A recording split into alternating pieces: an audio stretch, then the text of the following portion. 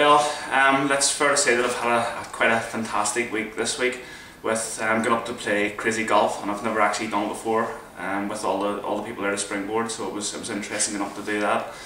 Uh, then went down to um, the skate park to just see what it was like and see how the event was set up and stuff but we're still doing a lot of work on it so the areas that we could travel to were quite limited.